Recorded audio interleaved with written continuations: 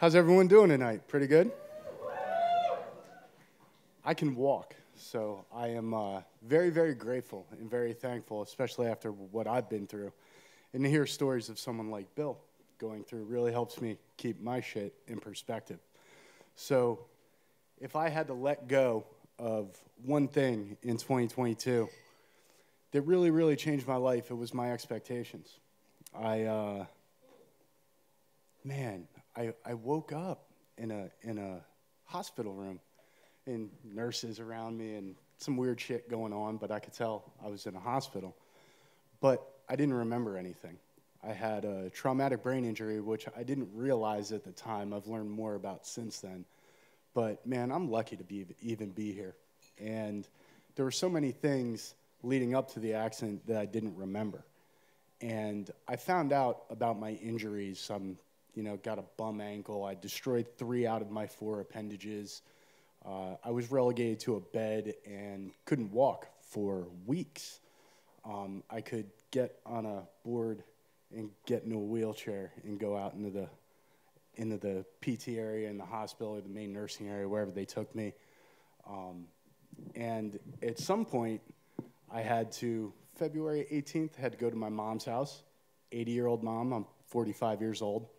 And I was stuck in this little corner bedroom in this little house of this lady who was retired. And uh, she's born and raised a Roman Catholic, very devout Roman Catholic. God bless her soul. Um, not the smiliest, happiest individual to be around. And here I was thinking, oh my God, man, I, I need some love in my life. I need a, a pat on the butt. I need some encouragement, you know, that would be so helpful. But I have two family members. I have my mom, who I just mentioned, obviously, and my daughter, who's in college overseas. So I didn't have it to get it from anywhere. But that being said, um, I woke up in the, the hospital where my wife, soon to be ex wife, worked as a nurse. I didn't remember at the time really that she had cheated on me two years earlier. I'd moved out. Um, and we had broken up a few months before the accident because we started dating again for a little while. And I didn't remember anything. I just woke up and there she was, and I was kind of reset to square one. And on April 4th, the day that I was supposed to walk again on a walker, my wife broke up with me through a text message. I know, I know, right? Like, but I still had to get up and fucking walk. I had to learn how to walk again. Do you know what it's like to have to learn how to walk again twice? And I'm not a tough guy. I wanted a comfortable, easy life that was exactly that comfortable and easy, and now it wasn't anymore. I broke 22 bones. How many people, by a sign of applause, if you could just clap, have not broken a bone in their lifetime? God bless every single one of you. I did 22 and a half of a second, you know? And to think that I was handicapped or going to be crippled or have all this problems and issues with my muscle atrophy and the deterioration and the, I mean the scar on my right wrist goes from the bracelet all the way down to here and that's just on one side. And at that time I couldn't even move my thumb when I woke up in the hospital. And I remember going to PT, physical therapy in the hospital before I even made it to my mom's house. And I wasn't allowed to put any weight on the ball of my left foot. But in the wheelchair, I could use my left arm and my left foot. So I'm out there doing PT in fucking circles, right? Little, little circles just working that left side. Um, that being said, mentally and emotionally, what I was going through was every bit of a match for the physical pain that I was going through. And I couldn't run away from it. Couldn't fucking go anywhere. I laid in a bed for weeks and weeks and weeks on end.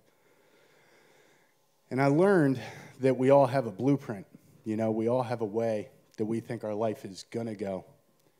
And whether our dads pass away, whether we lose a leg, whether we lose a job, lost mine, did that too, whether we lose a car, whether we I mean, I'd hit some trees pretty hard in my life previously, but not in the manner of, you know, a tree this big in a car at 70 miles an hour. And I thought I would have a, a loving family there if a, a tragedy happened. I thought I would have a wife there who cared and supported me in the struggles and in what I was going through. And I didn't really have that either. And I realized I had to change what I expected out of life. And I had to do it with the help of some friends, and I had to do it with the help of God, the universe, divine power, whatever you want to call it. I had to look up and I had to talk to that divine power and that nothingness, that everythingness all the time. And that's all I was able to do for weeks and weeks on end. And I had to do physical therapy, which is physical torture, three days a week for the entire year of 2022. And I can't even tell you what that's like to have to go through. But I had to change my expectations of where I was going to go and what I was going to be able to do. That being said, got a really good job. I have a beautiful girlfriend who is smart, funny, intelligent, and everything that my previous relationship wasn't.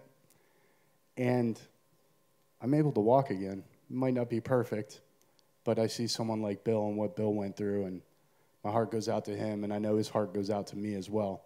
And brother, it may hurt me a lot, but I'm to walk enough for the both of us. So let go of your blueprint. Let go of your expectation of what you thought life might be and think about what life can be and what life could be. Because I certainly didn't expect to be here doing this, certainly didn't expect to be walking again. Thank you very much. Thank you very much, everybody. Have a wonderful night and embrace what you have.